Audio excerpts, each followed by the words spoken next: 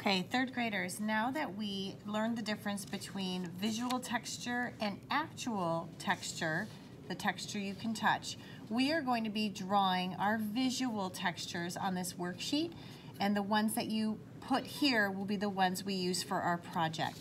So I did make a packet for you. These are some examples of some texture landscapes.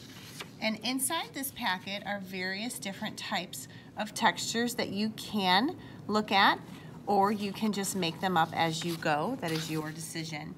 I like to repeat a line or a shape as my pattern. So that's what I'm going to do.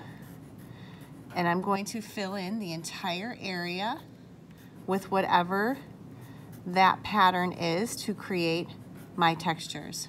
Some textures are going to look smooth. Some textures are going to look bumpy, rough, jagged. You decide what they look like and how you're going to apply them. So I just ask that you fill in the entire shape with whatever textures you choose to use. I did a couple for you and also, of course, put your name at the top. When you are finished with your texture worksheet, then you're going to put your texture worksheet to the side and start thinking about what kind of landscape you want to do and what is going to be in the foreground, middle ground, and background. If you see this picture here, in the foreground we have the grass, the hills, the trees in the middle ground, and the mountains in the sky are in the background. So it can vary on how you want to do it. And when you are drawing, the first thing I want you to do on a larger piece of paper, it can be vertical or horizontal, is you're going to draw that horizon line first. That's where the land meets the sky. And after you're done drawing that horizon line, you're going to decide what is in the front, what is in the foreground. There are many examples on this packet that you can look at.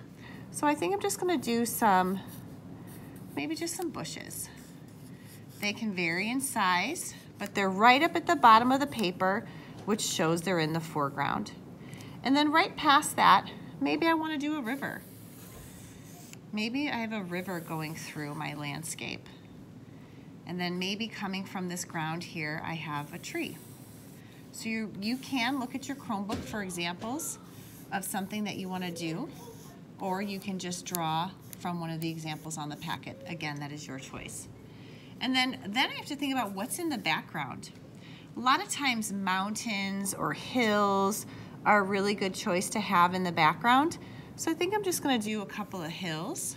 Notice they start on the horizon line and I'm gonna put one behind another and maybe one behind the tree and I will erase that. And then I think I'm gonna make this like a midday picture.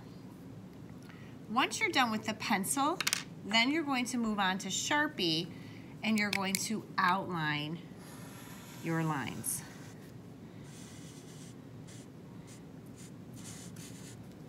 And when that is finished, you're going to fill in every different space with one of the many textures that you chose for your picture.